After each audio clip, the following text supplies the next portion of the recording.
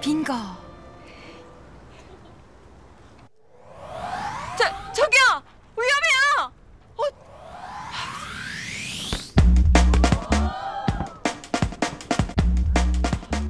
어, 어, 감사합니다.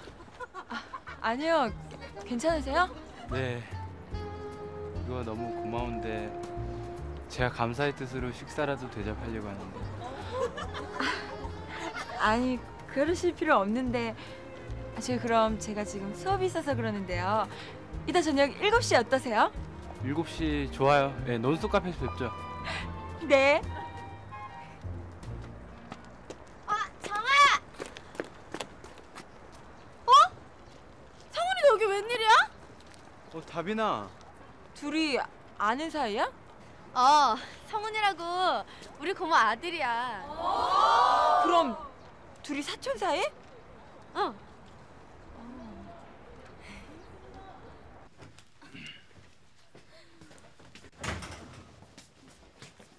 형 뭐해? 아, 신문 봐. 아, 경님이 수업 끝날 때까지 기다리고 있어. 수업 끝나고 시간도 그랬거든. 형, 나 형한테 충고하고 싶은 게 있는데 기분 나쁘게 들어. 야, 먼저 되게 불난다. 형이 지금 경림이 누나한테 하는 걸 보아하니 결혼해서 공처가로 누나한테 꽉 잡혀 살 것 같아. 공처. 야, 너 진짜 오바야. 야, 너 진짜 오바지 않냐? 아니 내가 보긴 형이 더 오바야 형 아마 지금 이대로면 아마 이렇게 살 걸 이렇게 하고 봐, 이렇게 하고.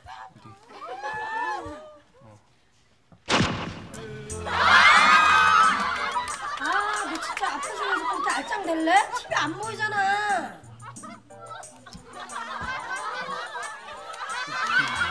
경림아, 발 좀.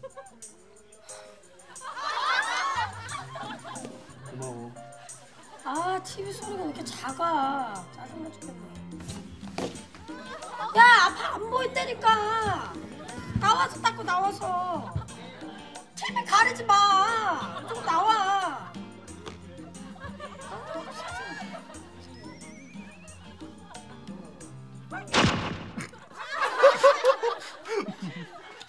니들 정말 설마 경림이가 그러겠냐?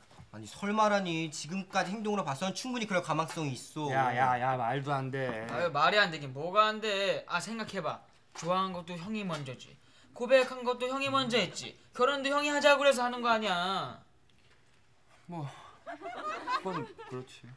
그렇게 지금까지 두 사람의 관계를 분석해보면 일반적으로 형이 저자세였잖아 저 자세. 만일 이대로라면은 형은 계속 경림이 누나한테 잡혀서 살 거야. 벌써부터 전조가 보이잖아. 안 봐도 비디오 안 들어도 오디오네 그러면 이제 뭐 어떻게 해야 되지? 아유 어떡하긴 아, 기선을 잡아야지. 이대로 그냥 놔뒀다가는 평생 후회할 걸. 아니 가뜩이나 경림이나 기도 센데 초반에 그냥 확 휘어 잡아야지 아, 알았어. 근데 내가 잘할 수 있을까? 떨려서. 아, 떨리면 안 되는데 괜찮아. 형이 떨린다면은 잘할 수 있다는 소리니까. 우리 학교 의대생인데 나랑 동갑이야. 근데 자기가 나보다 생일 한 달 빠르다고 나보고 오빠라고 부르라는 거 있지? 길이구나. 꽤 잘생겼던데. 원래 우리 집안 사람들이 한입을 하잖아. 왜? 근데 너 성훈이한테 관심 있는 것 같다? 어, 야, 아니야. 아, 보아하니 관심 있는 것 같은데? 어때? 내가 다리 놔줄까? 네가? 어. 성훈이 걔가 원래 우리 고모 말이면은 껍벅 죽거든. 근데 고모는 또 내 말이면은 껍벅 죽거든. 고로 성훈은 내 말이면은 껍벅 죽는다는 소리지. 다빈아, 내가 나 많이 사랑하는 거 알지? 그럼. 아휴, 근데 성훈이가 우리 사촌이라서 이런 말 하는 게 아닌데 어, 성훈이가 너처럼 뻣뻣하고 눈치 없는 애를 좋아할지 모르겠다. 야,